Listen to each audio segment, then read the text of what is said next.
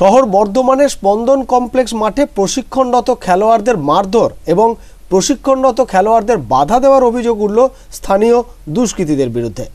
এই নিয়ে স্পন্দন কমপ্লেক্সের প্রশিক্ষণরত খেলোয়াড়রা এবং কোচ সহ জেলা পরিষদে গিয়ে উত্তম সেনগুপ্তর কাছে অভিযোগ জানান তারা এবং পূর্ব বর্ধমান জেলা পুলিশ সুপারের কাছেও একটি অভিযোগ জানান, যাতে পুনরায় তারা আবার প্রশিক্ষণ শুরু করতে পারেন। এবং তাদের দাবি সপ্তাহে তিন দিন করে যাতে এই মাঠ তারা ব্যবহার করতে পারেন।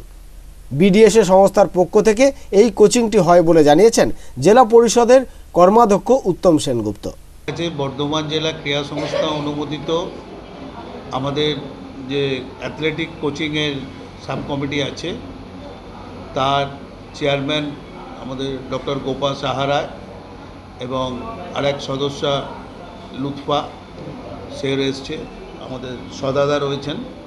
উনি কোচ ওরা দীর্ঘদিন ধরে বিডিএসের সঙ্গে যুক্ত এবং অ্যাথলেটিকদের তৈরি করার কাজে এরা নিজেদেরকে নিয়োজিত করেছেন। এরা অ্যাসোসিয়েশন থেকে আমরা খুব বেশি তাদেরকে হেল্প করতে পারি না।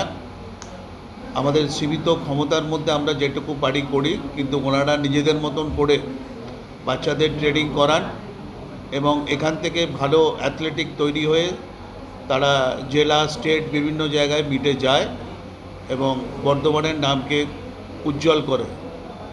কিন্তু কিছুদিন ধরে আমরা দেখতে পাচ্ছি যে স্পন্দন মাঠে স্থানীয় কিছু ছেলে যারা এই প্র্যাকটিসের সময় গিয়ে প্রচণ্ড অসুবিধার সৃষ্টি করছে ইভিন যারা প্র্যাকটিস করছে তাদেরকে মারধর করছে এবং যারা প্র্যাকটিস করায়, দেখুন লুৎপা একজন স্কুলের টিচার গোপা সাহারায় বর্ধমান ইউনিভার্সিটির স্পোর্টস অফিসার সদাদাও টিচার, এরা সমাজে প্রতিষ্ঠিত লোক, এরা খেলাধুলা ভালোবাসে বলে এরা এখানে আসে।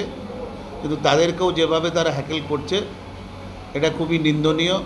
ওনারা নিজেরাই উদ্যোগী হয়ে গতকাল এসপি সাহেবকে জানিয়েছিলেন এই ঘটনার কথা এবং উনি সেটা বর্ধমান থানায় ফরওয়ার্ড করে দিয়েছেন।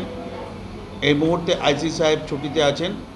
বর্ধমান থানার যিনি এখন ভারপ্রাপ্ত অফিসার আছেন, তার সঙ্গে কিছুক্ষণ আগে আমরা যোগাযোগ করেছি, তিনি তাদেরকে পাঠাতে বলেছেন, তারা যাচ্ছেন, দেখা করবেন এবং আমরা স্থানীয় স্তরেও স্তরেও চেষ্টা করব যাতে এই ঝামেলাটা মিটে গিয়ে বাচ্চারা সুষ্ঠুভাবে প্র্যাকটিস করতে পারে। উত্তম সেনগুপ্ত আরও জানান, এই বিষয়টি নিয়ে তারা চিন্তাভাবনা শুরু করেছেন।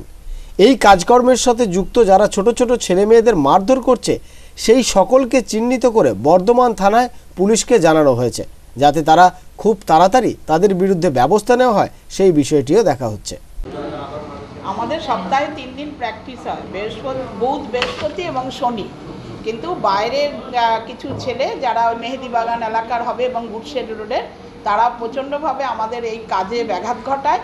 আমরা তাদেরকে খুব ভালোভাবে হাত জোর করেই বলেছিলাম যে সপ্তাহে তোমরা চার দিন খেলবে আর আমরা তিন দিন প্র্যাকটিস করব। কারণ আমাদের এই ছোট ছোট ছেলেমেয়েরা বহু দূর থেকে আসে।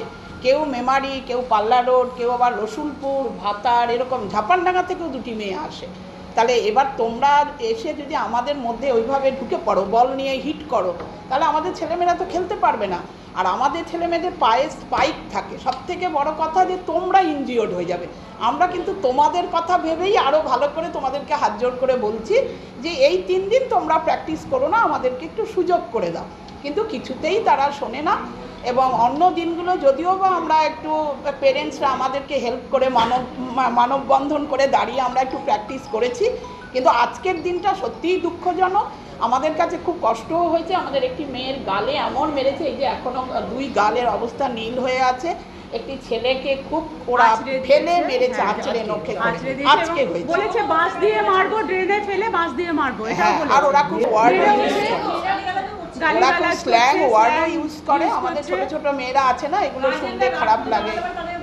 আচ্ছা হ্যাঁ। অভিযোগ আপনারা কোথাও করেছেন? অভিযোগ আমরা এসপি স্যারকে চিঠি লিখেছি এবং আমাদের জেলা পরিষদে যিনি রয়েছেন উত্তম সেনগুপ্ত মহাশয়কেও আমরা আমরা বলেছি এবং ওনারা বারবারই বলেছেন স্টেপস নেব। এমনকি ফুটবলের আমাদের যে জয়েন্ট সেক্রেটারি আছে গৌরীশঙ্কর ভট্টাচার্য আমাদের অ্যাথলেটিক্সের যে কোচ শিবু রুদ্র তারাও হাত জোর করে মাঠে নেমে বলেছে। যে বাবা তোমরা চার দিন খেলো আর আমাদের অ্যাথলেটিক্সটা তিন দিন করো। হ্যাঁ বিডিএসে আমরা গিয়েছিলাম স্যারের একটু অসুস্থতার জন্য আমাদের জেনারেল সেক্রেটারি বিদ্যাসবাবু আসতে পারেননি। কিন্তু এই চিঠিতে তারা আমাকে ফরওয়ার্ড করে দিয়েছেন এবং আমি চিঠি সেইভাবেই ফরওয়ার্ড করেছি। এসপি স্যার বলেছেন দু একদিনের মধ্যে স্টেপস নেবেন উনি এখন একটু কাজের জন্য ব্যস্ত আছেন বাইরে আছেন। এটাই আমাকে তো ওখানে তিন দিন খেলতে আসা আমাদের ওদের বারবার রিকোয়েস্ট করা হচ্ছে, ওনারা কোনো কথাই শুনছেন না। আমি তো হাত জোর করে রিকোয়েস্ট করেছি, আমাদের এই লুৎফা ম্যামকে পর্যন্ত মানে মারতে এসছিলেন আর কি, ওরা। তারপরে তো বাচ্চা মেয়েগুলোকে মারছে, আজকে আবার বলছে যে মেয়েগুলোকে আমরা দেখে নেব বাইরে পরে। তো এটা কী ধরনের সভ্যতা হচ্ছে? আমাদের মেয়েগুলো তো খেলতে আসছে এখানেতে। কোনো গার্জেন গিয়ে যখন আটকাতে যাচ্ছে, তখন তাদেরকে বল ছুঁড়ে মারছে এক দিদিকে মেরেছে। ওই তো ওনাকে। ওনাকে মেরেছে, আবার ওনার মেয়েকে মেরে মেরে কাল ওই লোকালি কিছু হবে? ওনার, ওরা যখন খেলছে লিগ চলাকালীন আমরা কিছু ডিস্টার্ব করিনি। লিগ হয়ে যাওয়ার পর আমরা বারবার বলছি যে, তোমরা মাঠ থেকে সরে যাও বা তোমরা একটা সাইড করে খেলো। আমাদেরকে বলছে, পরের দিন খেলবে, পরের দিন খেলব করে আমাদের সামনে ছেলে মেয়েদের সব স্টেট খেলা আছে। বর্ধমান থেকে পিন্টু প্যাটেল, আনন্দ বার্তা।